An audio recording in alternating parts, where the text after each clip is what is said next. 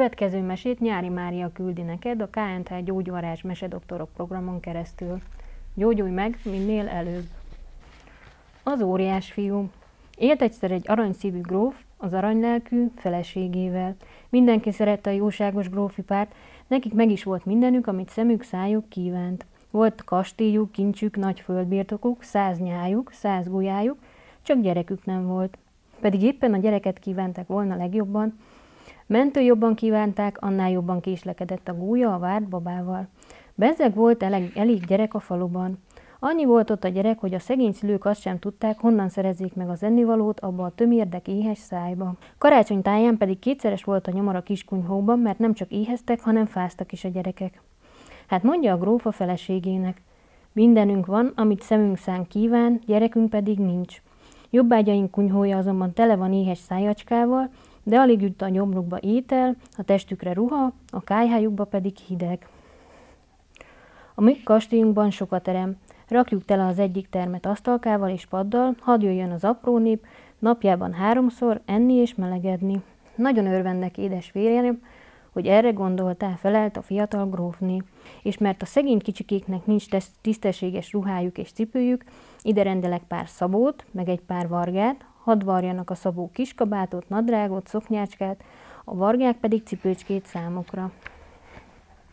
Így hát a gróf meg a grófni berendezte a termet a gyermekek számára, és száznál több fiúcska meg leányka evett, ivott, meg játszott ott egész nap, mert volt ám ott sok játék is, képeskönyv, katona, baba és mindenféle. Aztán jött három szabó, az ruhát szab a gyermekeknek, jött három varga, az meleg cipőt vart nekik. Karácsonykor pedig a környék összes jobbá gyerekével ünnepelték a szent estét.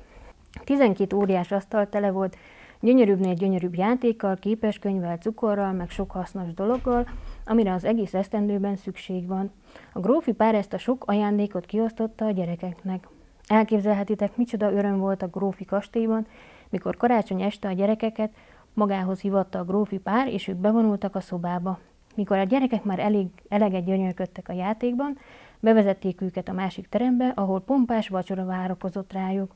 Olyan boldogok voltak a gyerekek, hogy a grófné így szólt az urához. No, ilyen szép karácsonyesténk még sohasem volt. Ezentúl minden karácsonyestét, de itt tartjuk a gyerekeket, mondotta a grófné. Hát így volt ez sok esztendeig. Reggel minden szegény gyerek a kastélyban reggelizett, délben ott ebédelt, este ott vacsorált, karácsonykor meg ott ünnepelt. A szükség elhurcolkodott a kunyhókból, és máshol keresett lakást magának. És mit gondoltok, hova költözött? Nem hinnétek, de bizony a grófi kastélyba. Száz gyereket táplálni, ruházni még egy grófnak is sok, hát lassan csak elfogyott a kincs, üresedett a pénzes szekrény, a gulyát, nyájat el kellett adni, hogy legyen mivel ennivalót vásárolni a sok szájnak, legyen mivel fizetni a szabót meg a vargát. Meg is öregedett a grófi pár, mikor egy napon csak az utolsó garas is kigurult a házból. Édes férjem, most már mi is szegények vagyunk, mondotta a grófni. Azok bizony édes feleségem, felelt a gróf. Most már nem adhatunk többé reggelit, ebédet és vacsorát a gyerekeknek. Már miért ne adhatnánk, kérdezte a férj. Minek nekünk a nagy vagyon, a roppant erdő meg a sok szántóföld? Öregek vagyunk, gyerekünk nincs, adjuk el a birtokunkat, az árán bőségesen élhetünk, és a gyerekeket is megvendégelhetjük. Így hát kihirdették, hogy eladó a grófi birtok, de az egész vidéken csak egyetlen vevője akadt, akinek elegendő pénze volt. Ez egy öreg óriás volt, aki a hegy tetején, erdő közepén lakott az óriás fiával. Ennek egyre növekedett a birtoka, és mert azt akarta, hogy valamikor a fia legyen az egész vidék ura, hát megvásárolta a grófi pár erdeit és földjeit. Volt megint pénzük a gróféknak, és megint vendégeskedhettek náluk a gyerekek, és megint vég karácsonyestéket ünnepelhettek. Sajna bizony semmi sem olyan hosszú, hogy vége ne lenne. Elfogyott megint a pénz, és a grófinknak el kellett adniuk az őkröket, teheneket, lovakat, arany meg ezüstneműt, és végül magát a kastélyt is. Most már semmiük sem volt, és két szobácskában laktak, amelyet az öreg óriás, a kastély ura irgalomból meghagyott nekik.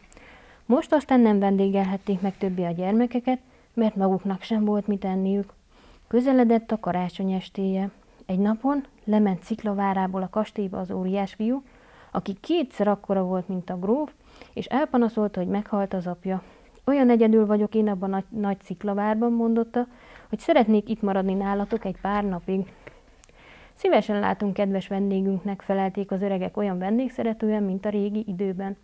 Mindent összeszedtek, amiük megmaradt, hogy az ár óriás ifjú urat megvendégeljék. Vacsora közben nem csodálkozott az óriás, hogy szegényes cseréptányérokat és bádok kanalakat tettek az asztalra. Ne haragudjál, kedves vendégünk, mondotta a gróf, hogy nem porcelán tányérokat és ezüst kanalakat tetünk, teszünk az asztalra, de nem tudtuk, hogy így jeles vendégünk lesz, és kiadtuk a házból. Aha, kölcsön adták valakinek, gondolta az óriás. Azon is csodálkozott, hogy a grófon meg a grófnél nincs díszruha, ahogy dukál, mikor vendégeket látnak az asztaluknál. A grófné észrevette, hogy az óriás ifjú a ruhájukat nézi, hát így szólt. Ne haragudjál, kedves ifjú, hogy nem a díszruhánkban ülünk a társaságodban, de nem tudtuk, hogy ilyen jeles vendégünk lesz, és az intézetbe küldtük. Aha, a tisztító intézetbe, gondolta az óriás fiú. A lakoma után így szólt a gróf. Kedves vendégünk, meg kell elégedned a mi szerint szobánkkal, mert apád a többi termet mind bezárta, és a kulcsot a sziklavárba vitte. Annál jobb, mondotta az ifjú. Legalább közel leszek hozzátok. A gróf a vendéget bevezette az egyik szobába, ahol számára két ágyat tétetett össze hosszában, úgyhogy az egyik ágy fejét, a másik ágy lábát eltávolította. Egy ágyban nem fért volna el az ifjú óriás. Aztán csöndes jócakát kívántak vendégének, és kimentek a szobából. Hát alunk feküdt le az óriás, megjelentek tündér az ágy fejénél, és azt kérdezte tőle. Tudod-e, kinek adták a grófik a porcelán edényüket és az ezüst neműket? Nem, felelte az ifjú. A te apádnak. Az én apámnak ajándékozták? Dehogy a te apád megvette tőlük, valamint megvette az erdőt, szántót, nyájat, gulyát, ménest, meg ezt a kastélyt. A grófiknak nem maradt egyebük a két szobácskánál. No lám, nem is tudtam, hogy enyém ez a kastély. Aztán miért adták el mindenüket az apámnak? Mert szükségük volt az árára. Aztán mire költötték azt a tömérdek pénzt? Arra, hogy a környék összes szegény gyerekeinek ők adtak enni, karácsonykor pedig minden szegény gyerek náluk ünnepelt. Aztán tudod-e, miféle intézetbe küldték a díszruhájukat? A tisztító intézetbe. Dehogy, az állokházba. Kölcsönt vettek fel a ruhájukra, hogy neked vacsorát meg reggelit készíthessenek. Ó, szegény örege, kiáltotta az óriás, ha tudtam volna, hogy terhükre vagyok, nem mentem volna a nyakukra. Hát azt tudod-e, miféle ágy ez? Két összerút vendégágy. Az ám, a gróf meg a grófni utolsó kítágya, melyben ők alszanak máskor. Teremtőm, hát most hol fekszenek? A puszta földön. Ó, Istenem, azonnal felkelek és visszadom az ágyukat. Azt ne tedd, mert megbántanád őket. De hiszen én tudok aludni a földön is. Ilyen öreg embereknek azonban kemény a föld, be sem tudják hunni a szemüket. Azt úgy sem hunynák be, mondta a tündér. A gróf napok óta egész éjjel sóhajtóznék, a grófné pedig sír. Miért? Mert holnap van karácsony estéje, és idén nem ünnepelhetnek a szegény gyerekekkel együtt. A tündér ezzel eltűnt. Másnap reggel elbúcsúzott az óriás fiú a grófi pártól, és visszament a sziklavárba. Amint beállt az estovály, a gróf szinte megfeledkezett a szegénységről, és így szólt a feleségéhez. Mindjárt itt karácsony estéje. Gyerünk, öreg párom, vegyük fel a díszruhánkat. Elfelejtetted, mondotta a grófni, hogy tegnap zálogházba vittük a díszruhánkat. Kip-kop, valaki kopogott. Szabad.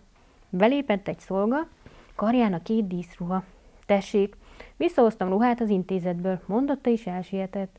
A grófék csodálkoztak ezen a dolgon, és találgatták, kiválthattak ki a ruhájukat, és örömendezve vették fel a kopott hétköznapi helyet. A gróf így szólt.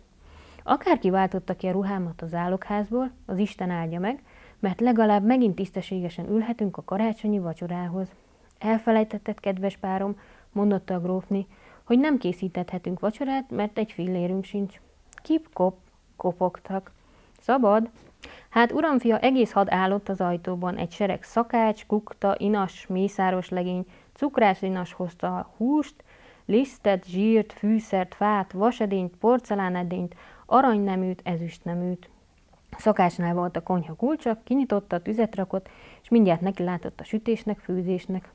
No, hiszen még csak most csodálkozott igazán a grófi pár, de hasztalan fogadta a jövővényeket, hogy kiküldi ezt a sok jót, egyik sem felelt. Végre így szólt a gróf. Akárki küldje, áldja meg az Isten, mert megint meghívhatjuk a környék minden szegény gyerekét, és víg karácsony esténk lesz. Elfelejtetted, kedves párom, szólt ismét a grófni, hogy csak két kis szobánk van, nem fér el azokba a sok vendég. Kip-kop, kopognak. Szabad. Belépett egy szolga, és bársonypárnyán átnyújtotta a kastély összes kulcsait. Tessék, tiétek minden szoba, mondotta és elsietett.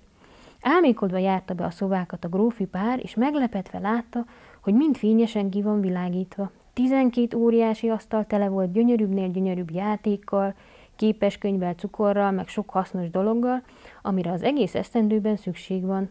Az ebédlőben meg volt már terítve az asztal, és telerakva tortával, meg cukortarannyal. Aztán egyszer csak karácsonyi ének hallatszott. A grófi pár az ablakhoz sietett, hosszú menet közelgett a kastély felé. Száznál több szegény fiú és lány jött, a leghátul ballagott az óriás fiú. A gyerekek énekelve vonultak be a kastélyba. Nosza volt öröm. A gyereksereg ámult és bámult a sok ajándékon, és a vidám hangok töltötték be a kastélyt. Ej, de boldog volt a grófi pár, pedig még nem volt vége a meglepetésnek, mert az óriás fiú a grófi pár elé állt, és így szólt. Én visszaadom nektek a kastélyt mindenben levővel, és a birtokot minden rajta levővel, de egy feltétellel. Mifélével? Hogy fiatoknak fogadtok. Persze, hogy azonnal fiúknak fogadták a derék óriást, aki ma este mindezt a sok örömöt szerezte, mert ő küldte haza a díszruhát, ő küldte a szakácsokat, inasokat, ő szedte össze a gyerekeket és a terített asztalt. Nagy vígan ültek a vacsorához, miután a grófi pár szétosztotta az ajándékot az apró népség között. Itt a mese vége.